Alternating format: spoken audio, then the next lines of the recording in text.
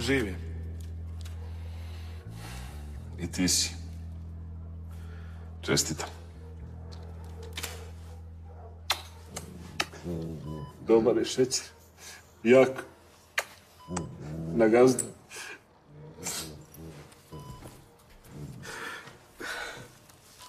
Doktore, baš te prokjenjalo danas. Moja bit se uvijek opere neku kintu sa stvarima. Šta je malo? Užasno brutalan čovjek. Pa nema više. Ja sam upravo spasla vašeg psa. Vidi ga plače. Da sam ti ba lupio par vaspitnih pa da razumijem, nego nisam te dotakao, reci. Lepo smo sarađivali, a?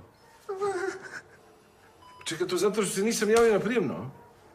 Evo idem odmah ja, idem.